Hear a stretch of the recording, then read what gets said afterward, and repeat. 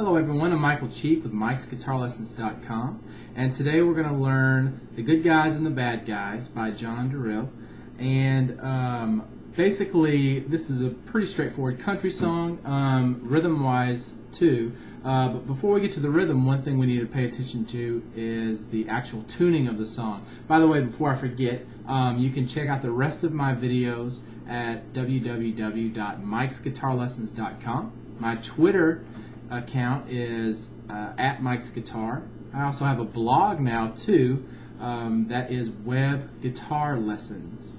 Or yeah, it's webguitarlesson.com. And um, I put a lot of deals and specials on that blog um, that I don't put anywhere else. You might want to check that out too. Facebook group is Mike's Guitar Lessons. So now that that's all out of the way, um, this song is actually somewhere in the neighborhood just below the key of G. What I mean by that, it's written in the key of G, but the guitar is tuned slightly flat. It's not a, half, a full half step down or a whole step down. It's just a little bit flat. So um, I'm actually I've actually tuned my guitar down a little bit to match it. Um, you don't have to do that if you're just going to play the song and sing with it. Standard tuning will work just fine.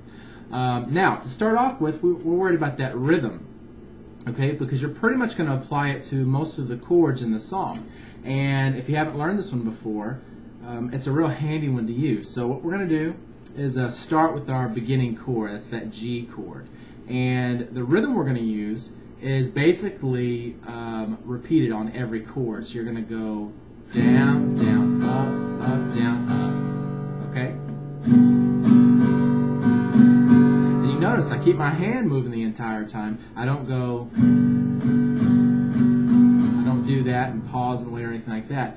You want to keep that hand moving and just hit the strings when, that was an accident, but when you're supposed to. So what you're going to do is keep your hand moving the whole time and start with a downstroke. And you're going to go down, then skip it, down, okay, so down, down, then up, then skip it, and then up, so down, down, up, up, and then down, up. And then you just keep repeating that. Down, down, up, up, down, up, down, down, up, up, down, up. Okay, I'm not holding a pick here just to keep the guitar a little bit quieter, but um, it works the same way with a pick. Now, um, we want to learn that intro that's at the beginning of the song, okay? So the chords you're going to need are G, like I just played. So starting at the thick E string, it's third fret, and A string is second, then open on the D, G, and B, and then third fret on the skinny E string, okay?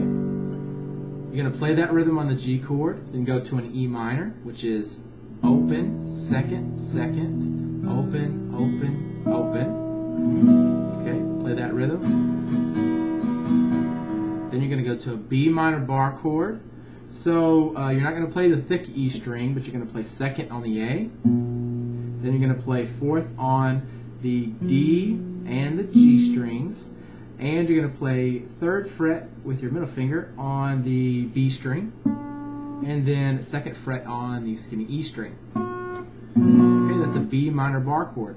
Still the same rhythm on that one. Just make sure you mute this thick E string with your first finger. Then we're going back to that E minor chord. And then you repeat the whole thing. So remember, it's G, E minor, B minor, E minor. Okay? So one time through it is going to sound like this.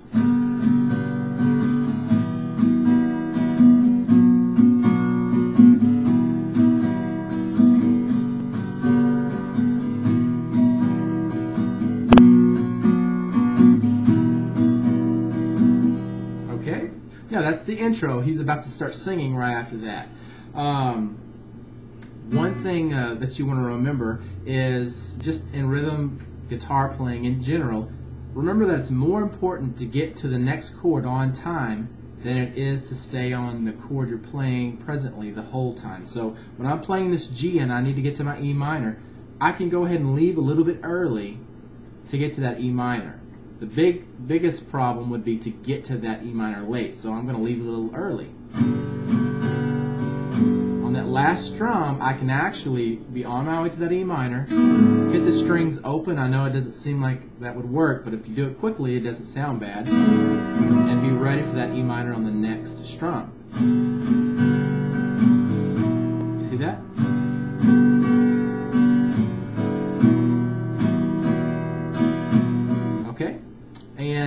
If you remember that rule, your rhythm guitar playing will sound a lot better because uh, at the beginning it can be daunting to try and switch to the next chord as fast as it seems like you need to, okay? So remember that rule. It's more important to get to the next chord on time than it is to stay on the chord that you're on for the entire time, okay? Now, um, what we're going to do now is the actual verse. I know uh, took a little time to get here, and you might have thought I was going to end at the intro, but I actually want to get the verse done here too. So, let's go ahead and start the verse. And uh, essentially what we've got here is a chord progression that's going to have the same rhythm that we just played. Um, and once we get all the way through the chords, you just play them uh, one more time. Okay? So you're going to play start off with the G chord. Then you're going to go to B minor. Go to a C chord. Now, uh, if you haven't played a C chord before, don't play the thick E string third fret on the A string, second on the D, open on the G, first on the B, and open on the skinny E string. Okay, so that's your C chord. Next chord is going to be an A minor.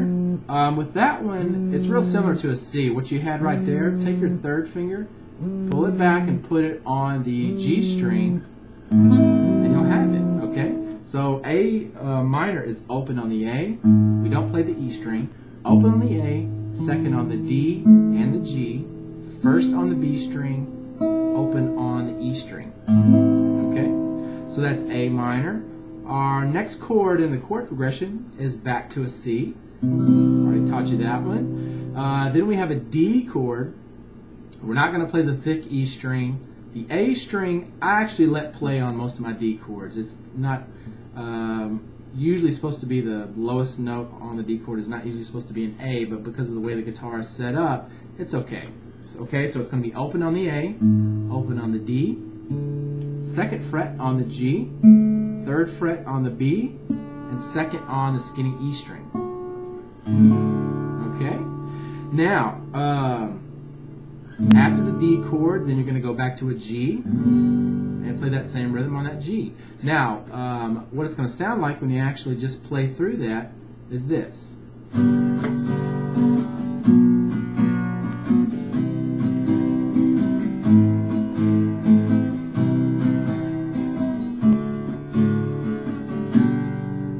you can play the rhythm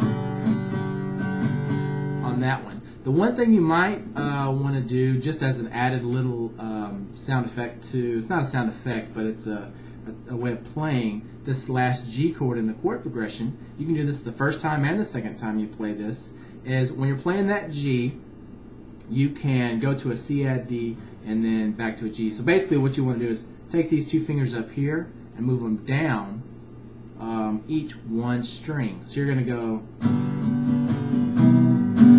like that. Okay, just to kind of copy the rhythm that's on the actual song. So, and then back to the G for that last strum. Okay, you can add that if you want to. So you're going to go through the verse chord progression that I just showed you two times in a row. So what that's going to sound like is this.